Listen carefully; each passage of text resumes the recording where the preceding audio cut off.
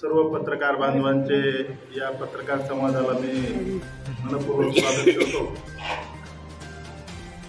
आपल्याला सर्वांना कल्पना आहेच की आजच्या या पत्रकार परिषदेला उपस्थित असणारे भारतीय जनता पार्टीचे शहराचे अध्यक्ष सन्माननीय आमचे मार्गदर्शक गिरीशजी पालवे सुनीलजी बच्चाव युवा मोर्चातले माझे सहकारी मित्र सरचिटणीस योगेश बॅन अमितजी घुगे सचिनजी दराडे अनिकेत पाटील किरणजी बोराडे विजय बनसोडे सागरजी शेलार वैभवजी व उपस्थित सर्व माझी युवा मोर्चाची टीम आपल्याला सर्वांना कल्पना आहे की मोदीजींनी त्यांच्या कारकिर्दीचे यशस्वी नऊ वर्ष गेल्या तीस मेला पूर्ण केलेलं आहे.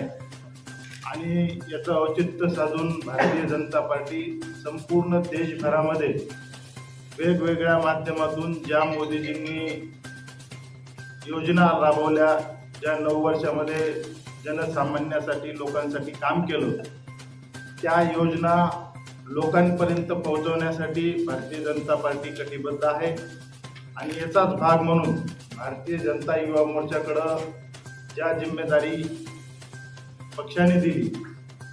पक्षाच्या अकरा लोकांच्या समितीमध्ये देखील युवा मोर्चा मोर्चा एक अध्यक्ष म्हणून मी त्या ठिकाणी सहभागी आहे. साधारणतः आज दिवसभरामध्ये आम्ही जसं सचिनजींनी सांगितलं याच पद्धतीनं पश्चिम महाराष्ट्र असेल कोकण असेल मराठवाडा असेल या तिन्ही विभागाचा प्रवास माझा त्या ठिकाणी पूर्ण झाला आहे. आज आम्ही युवा संवाद या ठिकाणी करत आहोत.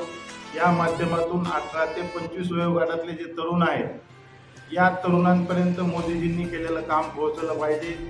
त्याचबरोबर मोदीजींनी ज्या योजना वेगवेगळ्या माध्यमातून राबवल्या आहेत मग ती एम एस एम ईच्या माध्यमातून वेगवेगळ्या योजना असतील त्याच्या माध्यमातून मिळणारी पस्तीस टक्के ते पंचेचाळीस टक्क्यापर्यंत मिळणारी सबसिडी असेल जेणेकरून नवीन उद्योजक पोरं तयार व्हावेत. यासाठी आम्ही युवा संवादचा कार्यक्रम त्या ठिकाणी करत आहोत.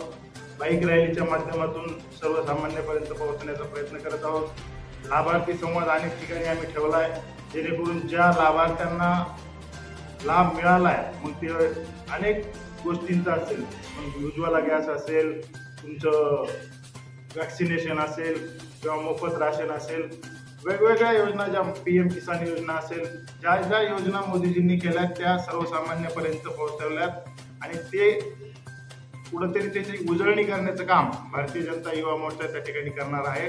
आणि याचबरोबर ज्या कोणी वंचित लोक राहिले असतील तर त्या वंचित लोकांनाही लाभ मिळवून देण्याचं येणाऱ्या काळामध्ये भारतीय जनता युवा मोर्चा नियोजन करणार आहे. त्या अनुषंगानं आम्ही युवा समाज असेल लाभार्थी संवाद असेल बाईक रॅली असेल किंवा मग या भेटीगाठीच्या माध्यमातून लोकांपर्यंत पोहोचून मोदीजींनी केलेली नऊ वर्षामधली कामं ही जन जनतेपर्यंत पोहोचवण्याचं काम करणार आहोत.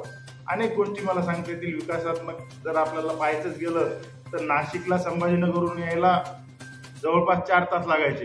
परंतु आज आपण नाशिक ते प्र- संभाजीनगरचा प्रवास दोन तासांमध्ये समृद्धी मार्गाच्या माध्यमातून करू शकतो. असे अनेक विकासात्मक कामं आपल्या नुसत्या महाराष्ट्रात नाही तर देशभरामध्ये मोदीजींनी केले. आणि आज जर आपण पाहिलं तर जी ट्वेंटीच्या माध्यमातून मोदीजी देशाचं अनेक देशांचं प्रतिनिधित्व त्या ठिकाणी करत आहे त्यामुळं निश्चितच आपल्या भारताकडे पाहण्याचा दृष्टिकोन हा जगभरामधला मोदीजींमुळे बदललेला आहे. निश्चित त्या ठिकाणी सर्वसामान्य माणसापर्यंत जाऊन आणखीन त्यांना मोदीजींचे हात बळकट करण्यासाठी भारतीय जनता युवा मोर्चा येणाऱ्या काळामध्ये काम करणार आहे. आणि त्याच अनुषंगानं उत्तर महाराष्ट्राचा माझा तीन दिवसाचा हा दौरा आहे. धन्यवाद. काय सांगाल आपण जे पत्रकार परिषद काय देशाचे यशस्वी पंतप्रधान भाई नरेंद्रजी मोदी यांनी त्यांची यशस्वी कार्यकिर्द तीस मेला पूर्ण केली आणि नऊ वर्ष त्यांच्या या कार्यकिर्दीला झालेत.